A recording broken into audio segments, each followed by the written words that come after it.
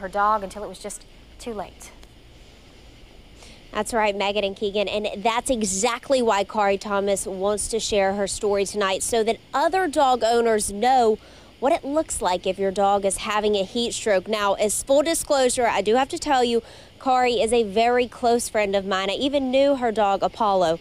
So, as you can imagine, this story hits especially close to home. Come on, man. You can do it. This is video Kari Thomas took of her dog Apollo on what she thought was a normal run at the reservoir Tuesday.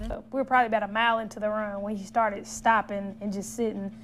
And I'm like, come on, come on, guy. And I'm thinking that he's just out of shape. Thomas says she was only out with Apollo for about 30 minutes around noon, but temperatures were well into the 90s. People say, like, you know, don't put your dog, you know, keep your dog in weather that you wouldn't be in yourself. So I figured if if I was dealing with it, then he would too. I think we kind of think that dogs are tougher than they really are. At the end of their run, Thomas says she had a hard time getting Apollo into the car. As soon as they got home, she hosed him down with cold water, but he couldn't stand up. Very fit Weimaraner.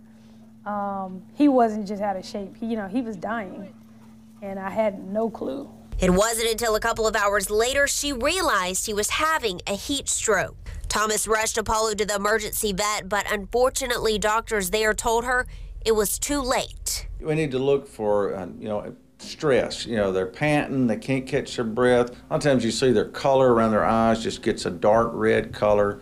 Uh, so if there's any doubt, go ahead and bring them into your veterinarian. As for Kari, she describes her Apollo as the best dog in the world. You know, we ride bikes together, we walk around Fondren together.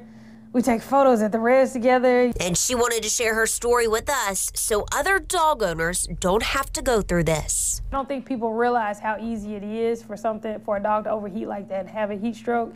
And I think if they knew that, um, you could prevent a lot of them. Now, veterinarians say other signs of a heat stroke are vomiting, diarrhea, and weakness. And if you do think your dog is overheated, they say every second counts getting them to the vet as quickly as possible. Megan and Keegan? And, and question for you. What about dogs who stay outside most of the time? What does Dr. Gill say is important for keeping them safe this summer?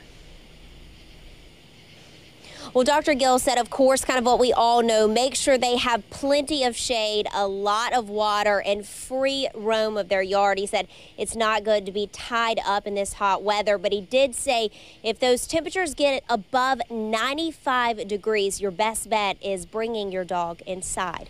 We're now live right outside of the studio. Ann Parker 16, WAPT News. Hopefully.